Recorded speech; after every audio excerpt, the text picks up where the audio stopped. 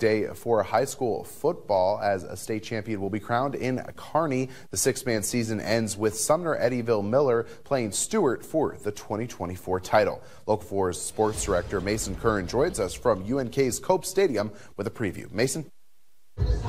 That's right. It all comes down to this. The NSAA six-man high school football season ends tonight in the state that invented the sport. That's right. Six-man football invented right here in Nebraska. And Stuart and SEM will play to be the 2024 champion in the state. These two teams very familiar with one another. Stuart comes in as the three seed while the Mustangs of SEM riding in as the top seed in the bracket. And if you're keeping track, both of these teams have a combined combined one loss between them this year. It came when the teams faced each other back in week two of the regular season. Stuart led SEM for some of the fourth quarter in that game before the Mustangs mounted a comeback and beat the Broncos 36 33. A lot can change in the span of over two months, and both teams are putting the past behind them ahead of the state title game. SEM is looking to go back to back, while Stuart would win its first championship in program history. We're not going to change who we are, and they're not going to change who they are.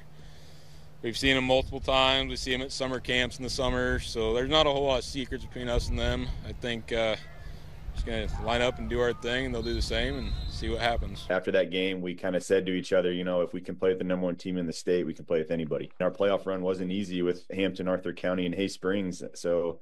Um, you know, we, we're not going to really change a whole lot. We're going to rely on our defense like we have all season. So once again, we're less than an hour from kickoff here at the NSAA State Football Class D6 Championship game at Ron and Carol Cope Stadium on the campus of UNK. Stuart and SEM running it back for a Week 2 rematch. Stuart lost to SEM in the playoffs a year ago as well, so no love lost between these two sides. We'll have more coverage tonight. Now we're going to send it out to Local 4's Marco Yurkovich, who's standing by live in St. Joseph, Missouri at the MIAA volleyball tournament.